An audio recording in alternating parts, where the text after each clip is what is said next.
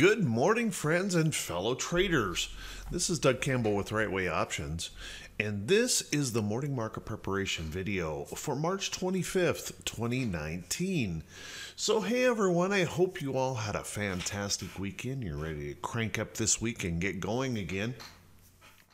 We have an interesting setup this morning, which um, really is not that big a surprise uh, considering how much volatility came into the market on Friday. So let's see if we can get through this um, really quickly and kind of take a look at what the market is showing us, what the chart is showing us without any interpretation of direction. Let's just take a look at the technicals of the chart. So first off, let's take a look at the diamonds. Now the Dow has been kind of an interesting uh, chart to begin with. Um, last week, we failed a new high, making a lower high failure, um, actually bringing in a downtrend.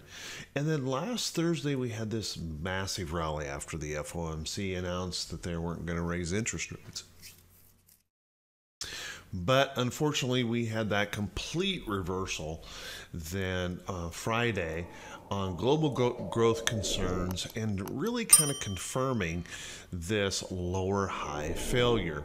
So at this point, we have a, a pretty bearish looking uh, diamonds chart. Now, can we bounce back up off of that? We certainly can.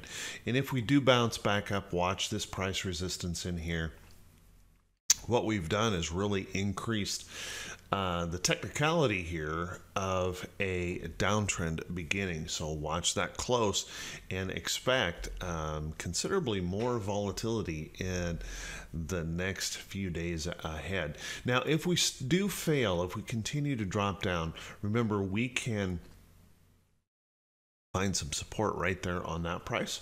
We could find even a stronger level of support if we move down into here. So, is the world coming to, the, to an end? Well, probably not. But we do have a concern here, and we should expect price action to be a bit more challenging uh, today and the next few days forward as we try to sort this out. Let's take a look at the SPY real quickly. SPY, much better situation than the Dow, but certainly a reason for concern.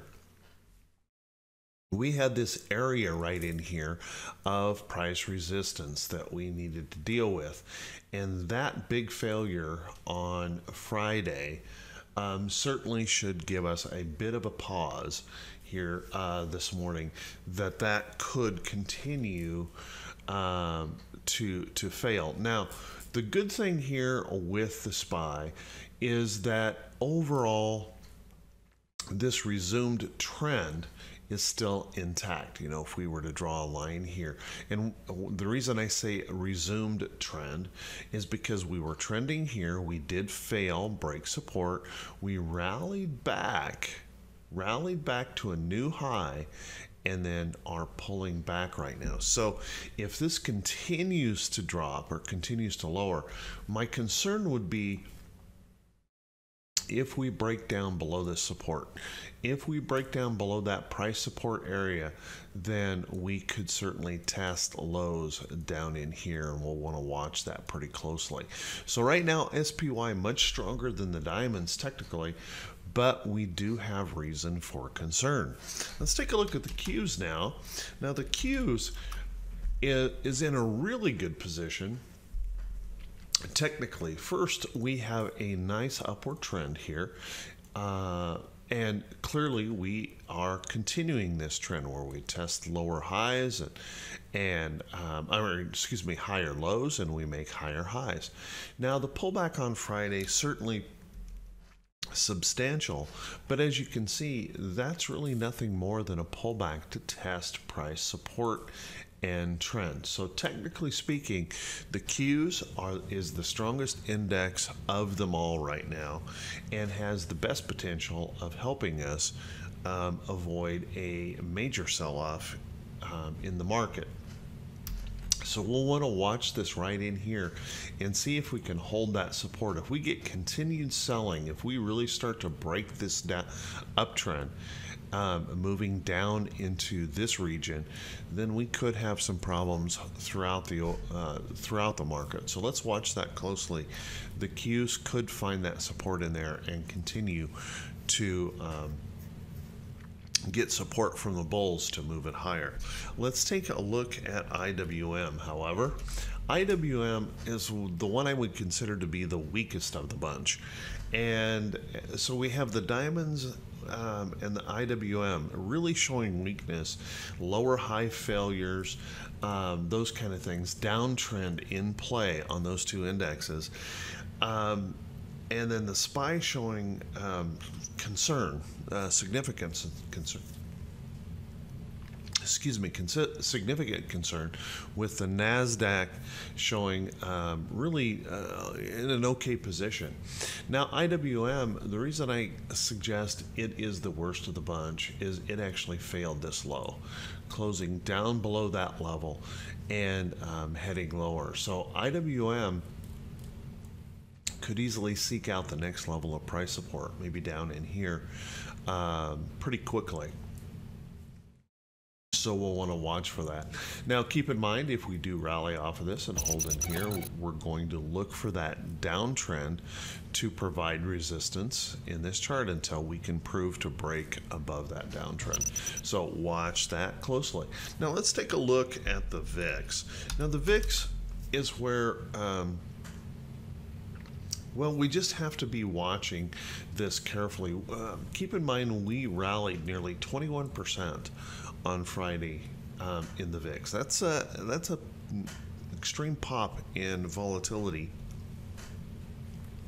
So we need to expect that volatility to remain elevated for the next couple of days until that could maybe calm down. So taking a look at the VIX, you can see we popped above this resistance area here, and, that's really not a problem if we don't hold it as support.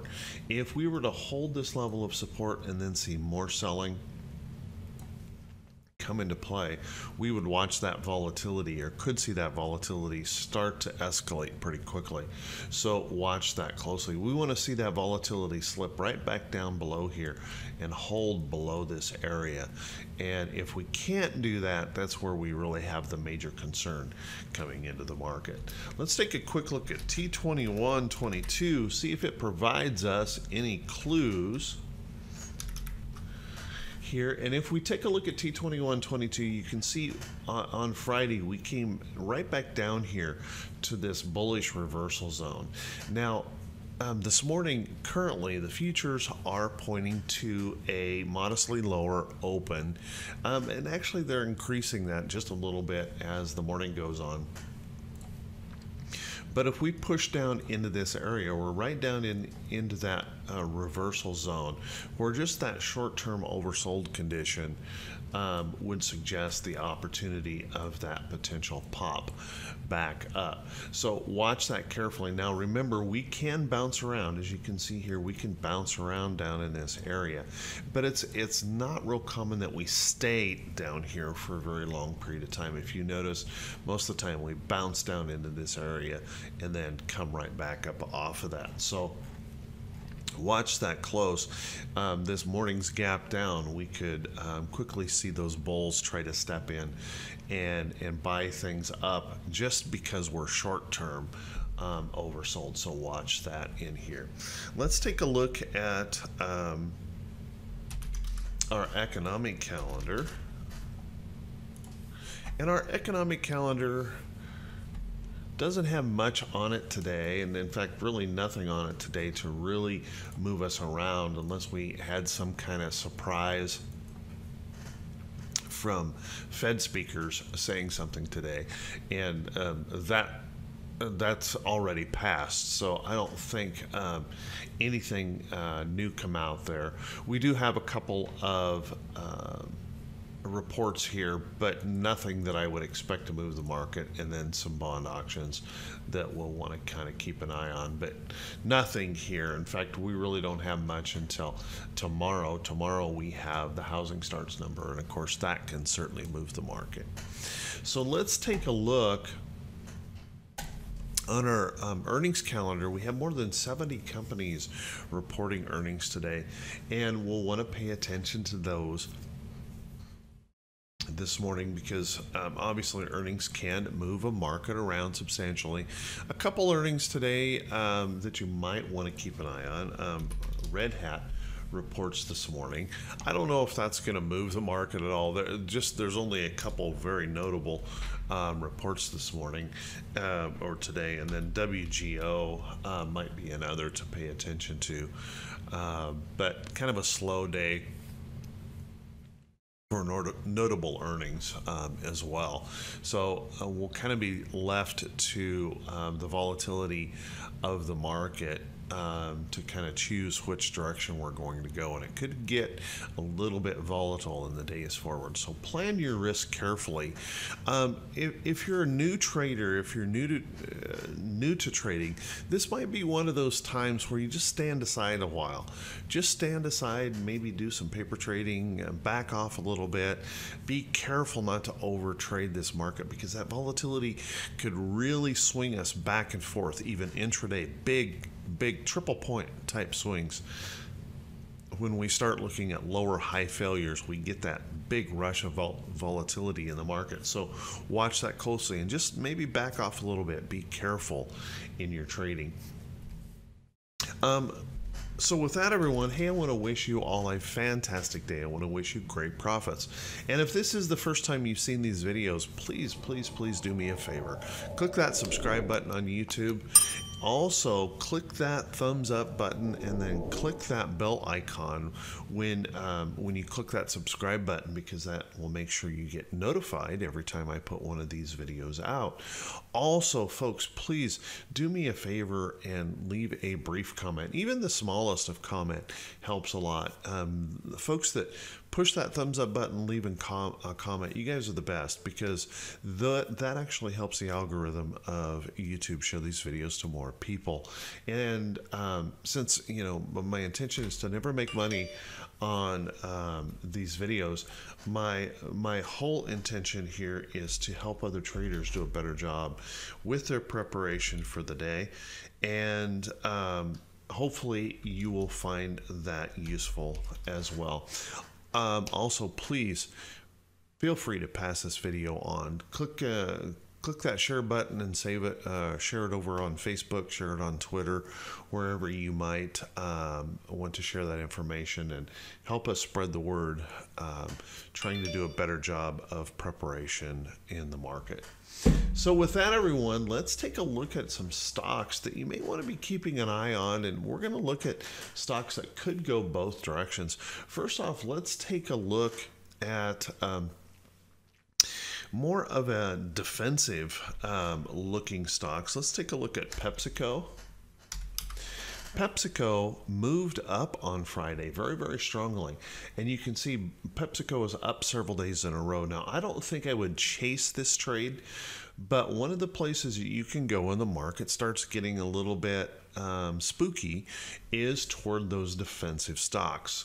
Um, that's where folks will go for a little bit of relative safety and, and collect that dividend yield. So take a look at PepsiCo. Any rest or pullback in here may be an opportunity for a trade, but it certainly should be on your list. You could also take a look at Coke.